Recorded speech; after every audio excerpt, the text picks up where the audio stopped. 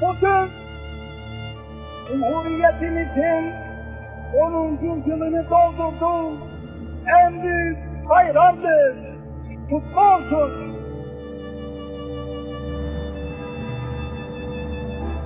Bu anda büyük Türk milletinin bir ferdi olarak bu kutlu güne kavuşmanın en derin sevinci ve heyecanı içindeyim.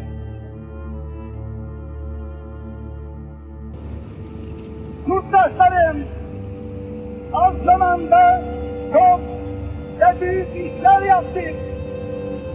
İşlerin en büyük temeli Türk kahramanlığı ve yüksek Türk kültürü olan Türkiye Cumhuriyeti'dir.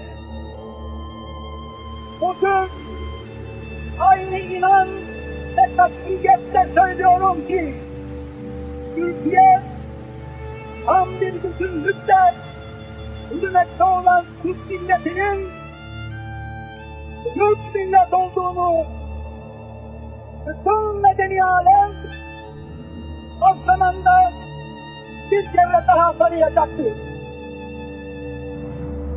Ebediyete atıp giden her on senede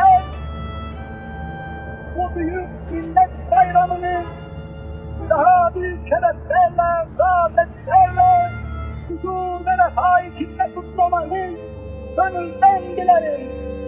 Ne mutlu, görsün diyemem.